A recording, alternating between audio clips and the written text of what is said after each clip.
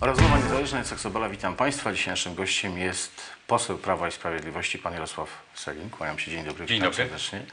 Radosław Sikorski. Dwa słowa, wszystko jasne. E, Platforma Obywatelska robi wszystko, tak zaklina rzeczywistość, żeby nam wmówić, że to jest koniec tej historii, koniec tej sprawy. Ja mam takie wrażenie, że niezależnie, z całym szacunkiem, od tego, co by chciało Prawo i Sprawiedliwość, to jest tak naprawdę początek tej historii. Czy ja się mylę? To jest początek e, tej historii, dlatego że trzeba po ujawnieniu tego faktu, który ujawnił Radosław Sikorski dla portalu amerykańskiego, trzeba uzyskać odpowiedzi na kilka kluczowych pytań dotyczących e, polityki zagranicznej długotrwającego już rządu, rządu Platformy Obywatelskiej i PSL-u i polityki zagranicznej Donalda Tuska i jego najbliższego współpracownika w kreowaniu tej polityki, czyli Radosława Sikorskiego na przestrzeni siedmiu lat. Dlatego, że jeśli prawdą jest to, co e, usłyszał od Putina premier Donald Tusk, a zakładam, że to jest prawdą, bo myślę, że te wykręty Radosława Sikorskiego to już była, była próba wyjścia z sytuacji trudnej, w którą wprowadził samego siebie, jak i Donalda Tuska, jak i całą Platformę Obywatelską, ale, ale zakładam, że to jest prawda, że takie coś Donald Tusk mógł od premiera, od prezydenta Putina usłyszeć. Nie, wtedy premiera, dobrze, dobrze. E, to, to należy e, na kilka pytań e, uzyskać odpowiedź. E, Co z tą wiedzą zrobił premier polskiego rządu? Dlaczego nie poinformował głowy własnego państwa o tym, jak, jaką dziwną propozycję usłyszał, czyli prezydenta Lecha Kaczyńskiego? Dlaczego nie poinformował Ukraińców? A może poinformował, ale musimy to usłyszeć.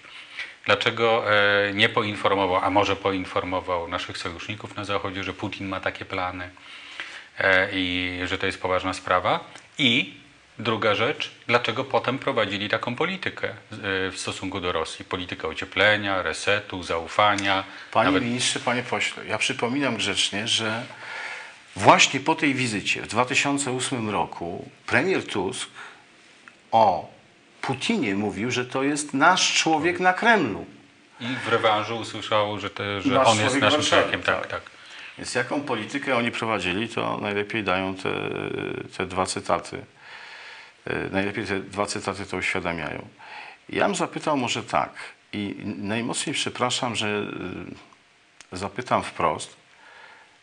Nie będę mówił, że czy to możliwe, że jest taki niemądry, tylko zapytam, czy on jest taki głupi. Czy to możliwe, żeby Sikorski był taki głupi? I przepraszam, że tak to pytanie formułuję, ale mam wrażenie, że właśnie chodzi o pełnię wrażeń. I czy to jest główny problem w tej całej sprawie, że on jest taki głupi? Ja myślę, że prawda jest dosyć banalna, ale ma poważne konsekwencje. Rok 2007-2008, Platforma wygrywa wybory, odsuwa Prawo i Sprawiedliwość od władzy, ale prezydentem nadal jest Lech Kaczyński. I w tym konflikcie, który Donald Tusk rozpoczął, w tej wojnie polsko-polskiej, niesłychanie emocjonalnie ustawionej przez niego i, przy dużym poparciu mediów e, zamieniającej się w coś, co mm, słusznie nazwano przemysłem pogardy, E, w tej wojnie e, polsko-polskiej, którą uruchomił, po prostu wszystkie chwyty mogły być dozwolone. I po przejęciu władzy Donald Tusk i Radosław Sikorski uznali, że również w kierunkach polityki zagranicznej trzeba się odróżnić od Lecha Kaczyńskiego i trzeba się odróżnić od tego, co robiło, robił rząd Prawa i Sprawiedliwości w, w latach 2005-2007.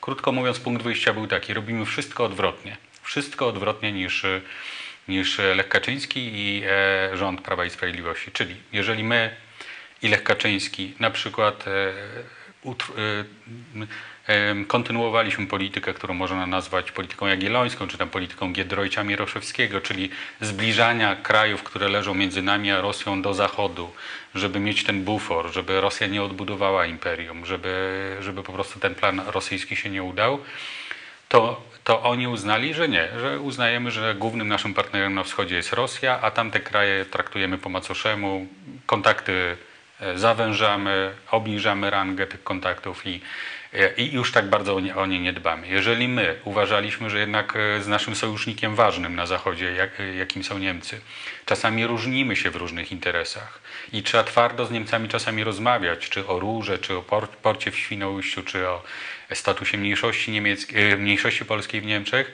to oni uznali, że trzeba e, uznać, że to jest nasz główny partner, e, zakopać wszystkie konflikty, uznać, że, że Niemcy są naszym głównym partnerem na Zachodzie i żadnych konfliktów nie ma. Tak naprawdę e, nawet dochodzimy do hołdu berlińskiego Radosława Sikorskiego. Weźcie przywództwo w Europie, wy Niemcy, prawda, nam to pasuje. Ja mam wrażenie, I, że... i, i ja, uważ, ja uważam, że to jest punkt wyjścia, Tak. aczkolwiek potem, e, potem po dwóch, trzech latach e, po prostu uznali, że trzeba to ubrać w jakąś doktrynę. Stąd artykuły i wywiady Radosława Sikorskiego, że odchodzimy od polityki jagiellońskiej, jesteśmy takim, e, płyniemy w głównym nurcie, ten główny nurt wyznaczają Hołd Niemcy, Niemcy e, z Francuzami, tak. tak. I, i potem, Niemcom, potem to już ubierano w doktrynę, ale punkt wyjścia był bardzo, bardzo banalny. Robimy po prostu wszystko Odwrotnie. odwrotnie niż Lech Kaczyński i PiS. Ale, e, znaczy to prawda, tylko że mm, hmm, Radosław Sikorski sam, przez nikogo nie prowokowany, postawił się w takiej sytuacji, że z lewej strony mina, z prawej strony mina, przed, przed nim szambo, a z tyłu pluton egzekucyjny. Ja go nie żałuję. To jest jego sprawa. Tylko pytam o to, czy y, to jest główny problem. Znaczy, z jednej strony pewnie tak, no bo druga osoba w państwie pełni funkcję marszałka.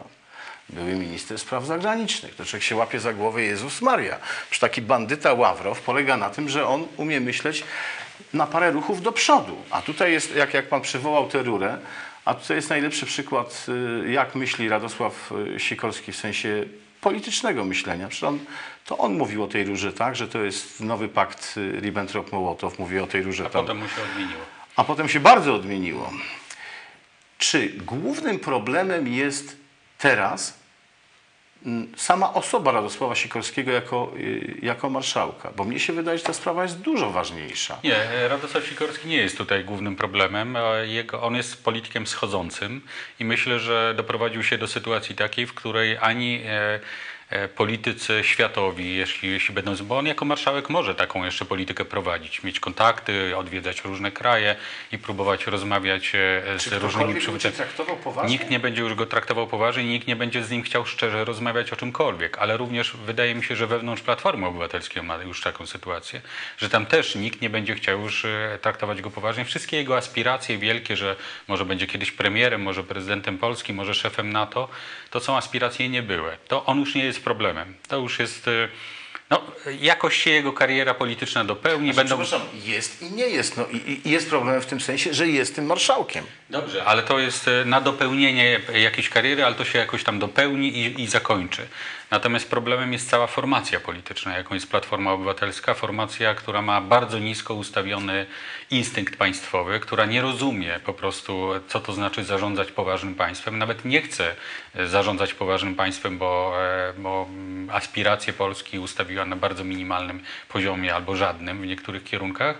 I to jest problem, że rządzą nami ludzie po prostu, którzy e, nie wierzą e, e, we własny kraj. Nie wytrzymuję, bo pan to mówi bardzo parlamentarnym językiem. Naprawdę szczerze podziwiam. Z tych taśm prawdy dowiedzieliśmy się, jacy to są bandyci tak naprawdę i jacy to są złodzieje i że interesuje ich wyłącznie ich interes prywatny. Tutaj mówię o rozmowie na przykład Sławomira Nowaka, albo ich interes partyjny, mówię o rozmowie Bartłomieja Sienkiewicza, bo chodzi tylko o replikowanie tej władzy i o to, żeby ta platforma się utrzymała przy władzy. Oczywiście, że było to sprzedawane w taki sposób, że tutaj się panowie bardzo e, troszczą o los e, państwa, ale ten los państwa jest pojmowany w ten sposób wyłącznie, że to, co jest dobre dla Platformy Obywatelskiej, to jest dobre dla Polski. A to nieprawda, to tak nie jest. Natomiast z tej sprawy Radosława Sikorskiego my się dowiadujemy czegoś innego. My się dowiadujemy mianowicie, moim zdaniem, może się mylę, my się dowiadujemy mianowicie, że to są po prostu zwyczajnie nieudacznicy. Tacy totalni nieudacznicy. Którzy, Bo- którzy wpadają w pułapki, Jaka- które sami na sami siebie na zastawiają. tak. Dokładnie. Jaka jest odpowiedzialność Donalda Tuska w tej sprawie? Bo Donald Tusk, ja już wiem, co on zrobi. Mnie się wydaje, że on będzie mówił tak. Nie ma czego komentować, no bo przecież Radosław Sikorski wszystko zdementował i ze wszystkiego się wycofał. Dobrze, ale my wczoraj na Komisji Spraw Zagranicznych zadaliśmy pytanie pani wiceminister spraw zagranicznych, która była obecna. E, i musi udzielić nam odpowiedzi. Daliśmy jej trochę czasu, bo chcemy uzyskać odpowiedź na piśmie. Chcemy sprawdzić, czy w ogóle istnieją procedu- istniały procedury pod rządami Platformy Obywatelskiej i czy jest coś takiego, co nazywamy pamięcią urzędu. Przecież my się nie możemy spierać, to jest kompromitujące, że my się spieramy, czy, Czy czy zaledwie oczy, 6 czy nie lat temu była rozmowa w cztery oczy, czy nie było rozmowy w cztery oczy. E, Sikorski mówi, że nie było, a są świadkowie, którzy mówią, że było, a na stronie internetowej prezydenta Rosji można przeczytać nawet przemówienia e, Putina i Radosława Sikorskiego, które wygłosili zanim poszli porozmawiać. Tak? Więc żądamy od Ministerstwa Spraw Zagranicznych precyzyjnej informacji, prostej, bardzo prostej, czy była rozmowa, czy nie było Ale 6 lat temu. mówi, że nie było, że on nie znalazł śladu. I druga, i druga, rzecz, i druga rzecz, notatki z wizyty Donalda Tuska e, w Moskwie. I na to Schetyna też odpowiada, że nie ma notatki. E, A, to w takim razie bardzo ciekawe, bo jeżeli nie ma notatki e, z, z wizyty premiera Tuska w Moskwie, jeżeli nie ma notatki po polskiej stronie z rozmowy premiera Tuska z Putinem na Molo, Na Molo w w Sopocie, Sopocie tak. we wrześniu 2009 roku, to znaczy, że rządzą nami chłopcy w krótkich No majtkach. to właśnie o tym mówię. Dokładnie, ale Nieudacznicy. To jest gang, ale gang Olsena. No. którzy nie rozumieją, że e, procedury państwowe polegają na tym, że musi być pamięć urzędu, musi być notatka, musi być zrobiona jak najszybciej, na gorąco, żeby nic nie umknęło, żeby, żeby e, nie, nie polegać w przyszłości na jakiejś zawodnej pamięci, tylko wiedzieć dokładnie, co przed godziną się, się wydarzyło. E, Jeżeli, jeżeli można, to nawet nagrania. I problem polega na tym, że rzeczywiście być może było tak, że e, my nawet notatki nie zrobiliśmy, a po stronie rosyjskiej jest nie tylko notatka obfita, Nagranie. ale jest nagranie. Zarówno z Molo w Sopocie, jak i e, z rozmowy w Moskwie. I jeśli tam jest to nagranie, a ja też tak uważam, że, że pewnie jest, e, no bo biorąc pod uwagę przeszłość Władimira Władimirowicza, myślę tutaj o służbie w KGB, e, no to nie wyobrażam sobie takiej sytuacji, żeby e, tego typu spotkania i rozmowy nie były nagrywane, bo to się zawsze może przydać. To co to znaczy dla, dla Donalda Tuska? Bo on może być przecież szantażowany, tak? Tym, że Myślę, że również po Smoleńsku e, może się tego obawiać, e, o czym rozmawiał na Molo w Sopocie. Potem był, wydarzył się Smoleńsk i mógł e, pewne rzeczy zrozumieć, których jeszcze nie rozumiał w czasie rozmowy na Molo w Sopocie. E, więc e, wszystko się kiedyś wyjaśni, ale żeby się wyjaśniło, to musimy zmienić władzę w Polsce. Musimy dojść do dokumentów, musimy dojść do materiałów, musimy po, poważnie uruchomić na przykład śledztwo smoleńskie. Zmienić władzę w Polsce. A kto tu rządzi, zapytam. Dlatego, że przecież Gazeta Wyborcza, to nie my, naprawdę. Gazeta Wyborcza robi z y, premier Ewy Kopacz paprotkę. Bo to Gazeta Wyborcza pisze, że e, premier Ewa Kopacz chciała wywalić e, Sikorskiego, ale Tusk go obronił. No to kto tu rządzi? Tego nie wiemy. Ja bym nie, nie dawał dużej ufności w tego typu informacje. W ogóle nie jestem specjalistą do rozgrywek wewnętrznych w Platformie Obywatelskiej, ale niewątpliwie, niewątpliwie jest tak, że to jest środowisko bardzo podzielone i e, skłócone wewnętrznie. W ogóle nie, e, nie w sprawach ideowych czy jakichś programowych, bo to ich w ogóle nie, większość z nich w ogóle nie interesuje, tylko w sprawach ambicjonalnych, czysty, czystych ambicji e, politycznych i, e, i konsumpcji władzy, tak, z, z zakresu konsumpcji władzy. No bo co różni spółdzielnie Grabarczyka od schetynowców, tak, w sensie politycznym czy ideowym? Ja nie potrafię takiego rozróżnienia zrobić. E, e, albo co różni Tuska od Schetyny. Najlepsze biuro detektywistyczne na świecie by nie znalazło tej różnicy. Prawdopodobnie tak. Więc e, to nie jest takie istotne, te, e, e, jak te spory wewnętrzne wyglądają. Istotne jest to, że, że e, no ci ludzie rzeczywiście, tak jak z taśmy prawdy również wyszło, e, e, nie sądzę, żeby rozmawiali we, we wewnętrznym gronie w czasie tych rozmów, które również z nagrań poznaliśmy, rozmawiali o, o dobru publicznym po prostu, o tym, że władza służy sprawom publicznym, dobru publicznemu. Mają zupełnie inne zainteresowania. Władza ra- raczej, raczej służy do, do polepszania materialnego bytu całych środowisk i konkretnych osób. Czy jesteśmy w stanie, czy Pan potrafi odpowiedzieć na takie pytanie, przewidzieć, jakie będą konsekwencje tej, tej całej sprawy dla Polski?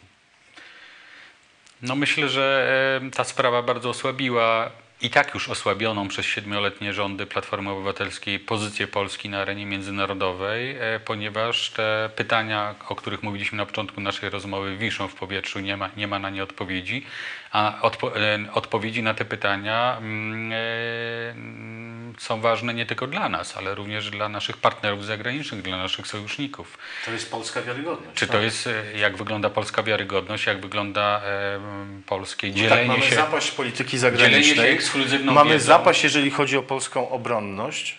I, I proszę zwrócić uwagę, moim zdaniem nieprzypadkowe jest to, że e, w sprawach dla nas najbardziej, w sprawie dla nas dzisiaj najbardziej żywotnej, jeśli chodzi o sprawy międzynarodowe, czyli rozwiązania konfliktu ukraińsko-rosyjskiego, tej wojny, która jest za naszymi granicami, e, e, Nas nie. Polska nie jest zapraszana do stołu rozmów, ale Polska też nie wychodzi z żadną propozycją do naszych sojuszników, bo albo nie potrafi tego zrobić pod tą ekipą, jakiś plan A, B, C, nie ma żadnego planu, albo sami już wiedzą, że i tak nikt nas nie będzie słuchał.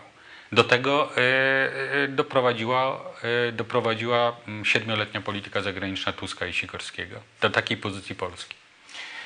Gdyby pan był doradcą Radosława Sikalskiego, to co by pan mu teraz doradził? Chyba jednak pisanie pamiętników. Czyli Odejście z polityki i pisanie pamiętników. Bardzo uprzejmie dziękuję za rozmowę. Podziwiam spokój i opanowanie. Pan Jarosław Selin był dzisiaj naszym gościem.